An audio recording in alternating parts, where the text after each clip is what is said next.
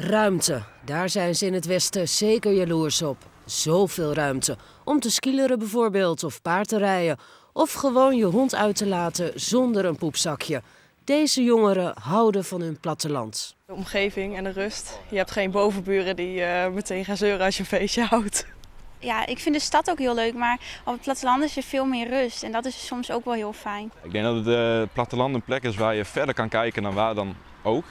Helemaal als ik in de trein vanuit Groningen deze kant op ga, dan zie ik gewoon de, de open velden. En je kan, kan kilometers ver kijken en dat zie je eigenlijk nergens. Tenminste niet in Nederland. Ja, dat vind ik toch wel een van de mooiste dingen aan het platteland. Geluid loopt, camera loopt. En dat willen ze ook aan de rest van Nederland laten zien. Groningen is geen zielige provincie van aardbevingen en bevolkingskrimp. Het is veel meer. Heel veel jongeren van het platteland die trekken naar de stad toe. Uh, krimp in dorpen, supermarkten trekken weg. En er blijft steeds minder over, terwijl het platteland zoveel te bieden heeft.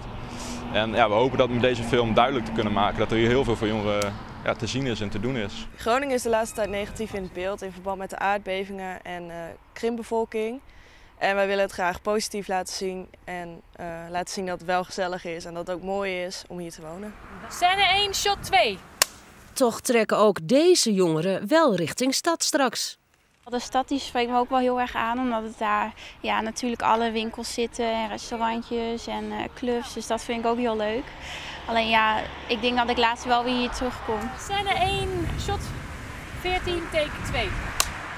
De documentaire gaat tijdens op Rockeldice in Warfum in première. De makers hopen ook dat hun film op andere festivals wordt vertoond.